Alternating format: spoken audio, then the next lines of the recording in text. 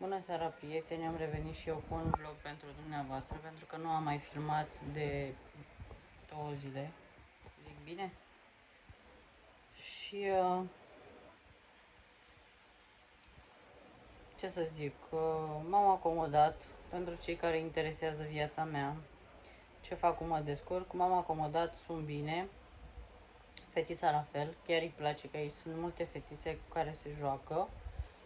Știți că eu spuneam mereu că ea n-are cu cine să se joace acolo pe stradă unde locuiam. Dar acum se joacă cu Irina, cu alte fete românce. Mă ascultă, nu mă supără, nu mai este agitată. E altfel. Chiar este altfel. Dar singura problemă este cu căldura. După atâta căldură, vă gândiți că na, dar uh, mâine rezolvă prietena mea, Eluța, Beluța. Să pun telefonul aici, nu? Mai bine aici. Așa.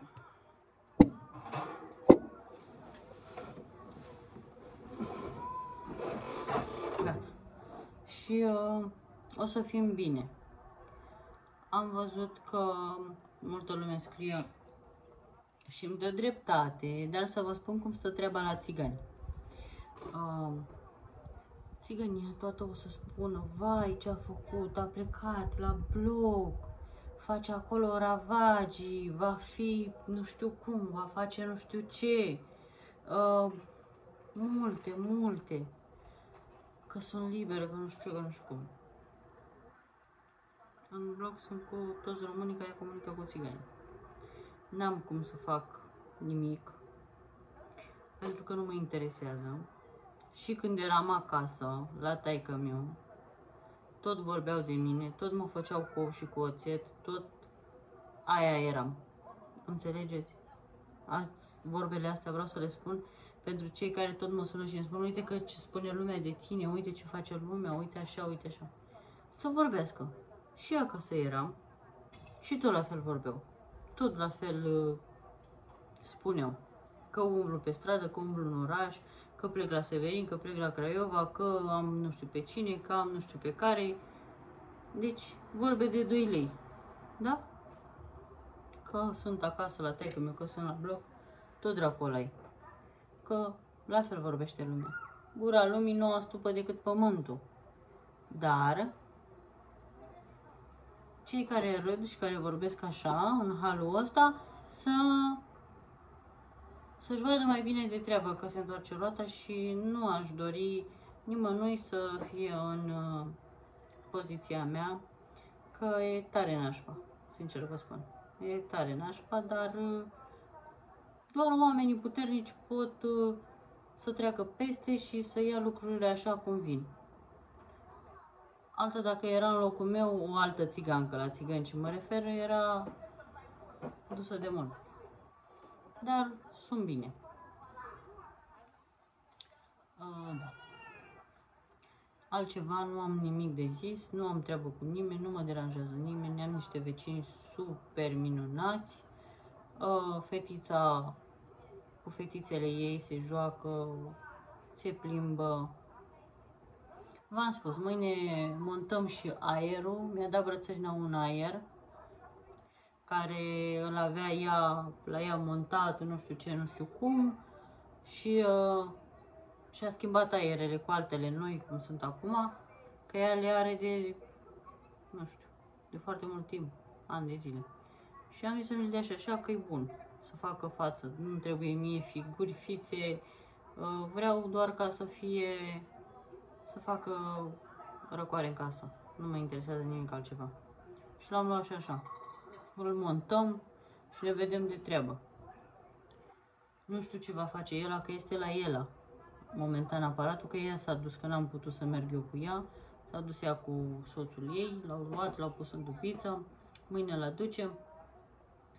Dacă nu o să meargă acela, o să cumpere el la altul. Și na. Oricum mulțumesc și lui Luci Busuioc că s-a oferit să mă ajute cu... M-a trimis acasă la ea cu o răcoritoare, dar n-am ajuns și oricum e rușine să mă duc. Și vara mea Lumina, a lui Lispră, că m-a sunat, m-a sunat și înainte. Și acum era îngrijorată de fată, de alea. Deci, chiar mulțumesc tuturor.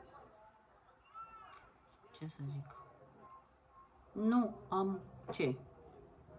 Mulțumesc lui Dumnezeu că sunt bine, sănătoasă, copilul meu sănătos, e bine și de restul nu mă mai interesează. Că am văzut cât însemn eu pentru ceilalți. Am spus în acel vlog că nu văd viața fără tata. De ce v-am spus asta? Pentru că am văzut ce au făcut neamurile mele în uh, o oră. Într-o oră. Când nu era tata. Înțelegeți? Și pe mine când mai ia chestia asta și când îmi amintesc, chiar nu mai țin cont și vorbesc prostii. Știu și eu că vorbesc. Dar vă spun sincer că tare nașpa m-am simțit când am văzut că tata nu era lângă mine și au sărit toți în capul meu.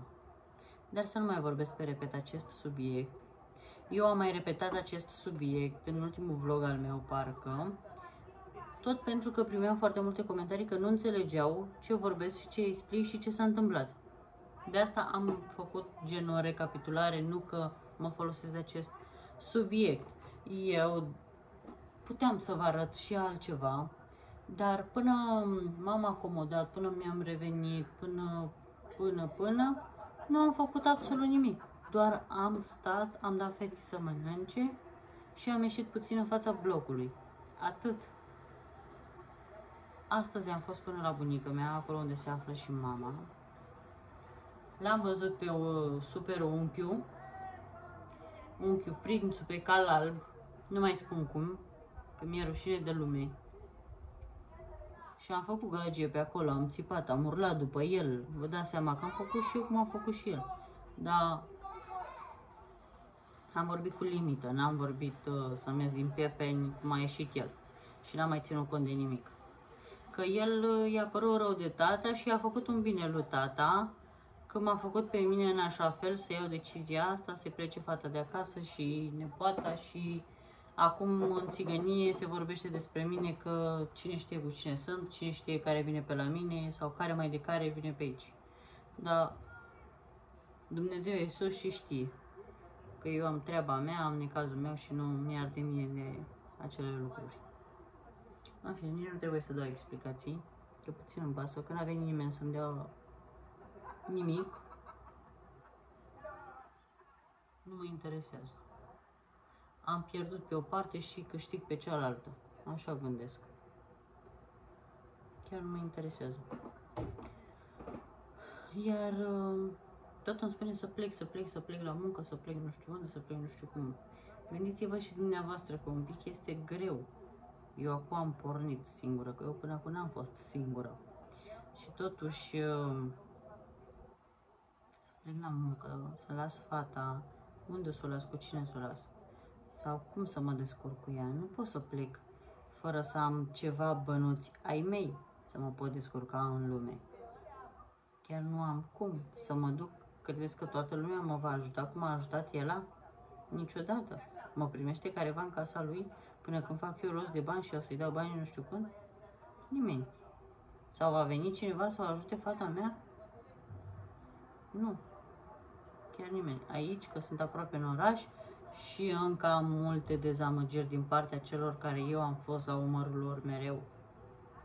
Și uitați ce mi s-a întâmplat din partea familiei, dar mai ales să fie unul străin.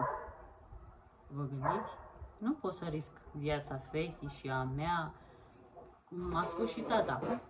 El e liniștit că suntem la el, că suntem în siguranță, dar dacă nu eram la ea, mare teroare era. Înțelegeți? Nu e chiar așa. Chiar nu e ușor. Nici pentru mine. Pentru că adevărul este că nu știu cum să pornesc momentan. Mai am de învățat multe. Uh, îmi mai trebuie curaj, îmi mai trebuie multe să mă adun, pentru că am avut multe probleme în ultima perioadă. Multă lume spune că sunt nebună, nu sunt nebună și mulțumesc lui Dumnezeu că n-am ajuns să iau nici măcar un calmant. Deci să iau o pastilă, nu știu, o pastilă pentru, nu știu, din plante. N-am luat niciodată. Și a, am avut episoade din astea așa nașpa, unul după altul, unul după altul. Și uitați că sunt bine. Și eu și fetița. Sunt altele care s-au au făcut depresie degeaba. S-au îmbolnăvit degeaba. Sau s-au îmbolnăvit că, nu știu, au bărbaților câte o gagică sau că s-au speriat că a țipat nu știu cine sau că au luat nu știu ce palmă de la viață și gata, imediat au și picat. Nu, chiar nu am treabă. Doar oamenii slab pică așa repede. Fiecare om are crucea lui și o duce atât cât zice Dumnezeu. Dacă Dumnezeu îți dă o cruce atât de grea și de mare, înseamnă că poți să o duci. Cei slabi, care nu am nicio treabă și sunt aerieni și zic, cred că sunt fericiți și că, nu știu, totul este roz și totul este nu știu cum, și au impresia că ei au putere să facă multe, ei sunt niște oameni care cred eu că nu prea sunt în ochii lui Dumnezeu. Pentru că doar oamenii, v-am spus, care duc lupte grele cu viața, le iau că așa a dat Dumnezeu. Și chiar îi mulțumesc pentru tot ce mi-a oferit și ce mi-a dat. Și mai ales că mi-a arătat fețele multora ce nu mă aștept. Vă gândiți cum mă simt eu că după atâta timp am văzut fețele lor și mulțumesc lui Dumnezeu, nu-mi pare rău. Chiar îi mulțumesc că s-a întâmplat asta. Și aș vrea să mai văd, să mai văd, să mă, uh, nu știu cum să vă zic, să mă rup odată de ei, să, de toată lumea asta. Oricum, uh, o să schimb și numărul de telefon, o să închid Facebook-ul cât de curând, uh, o să fac eu ceva ca să nu mai am uh, contact cu nimeni. Cu nimeni, absolut cu nimeni, pentru că am văzut cine m-a căutat și cine nu. Cei care m-au căutat nu o să-i uit, și cei care nu m-au căutat o să încerc să-i scot din viața mea, pentru că nu am nevoie de așa oameni. Iar uh, mulțumesc lui Adnana pentru gestul ei care l-a făcut astăzi pentru noi. Chiar îi mulțumesc, nu trebuia, dar na, n-am mai zis nimic, am lăsat-o așa pentru că ea întotdeauna a fost alături și a fost prezentă ce să zic, decât mulțumesc. La momentul potrivit s-a închis telefonul, că nu mai aveam baterie, că a stat Alina astăzi pe el. Uh, nu mai am ce să zic, am zis despre Alnana, că sper că într-o zi să mă revanșez, iar uh, față de Ela, să mai trăiesc încă 5 vieți, n-aș putea să mă revanșez pentru gesturile făcute față de mine și de copilul meu. Dumnezeu să o răsplătească, Dumnezeu să aibă milă de ea și de copilul ei și de familia ei să-i dea sănătate, pentru că eu chiar nu, nu mă simt niciodată că aș putea să o răsplătesc cu ceva pentru gesturile făcute. Toată viața o să-i rămân datoare. Am spus că pot să-i dau milioane, sute de milioane, miliarde. Nu au valoare cât de valoros este gestul ei făcut pentru mine și pentru copilul meu.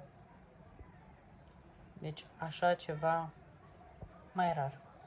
Vă doresc și vouă, prieteni, cum am eu pe Ela.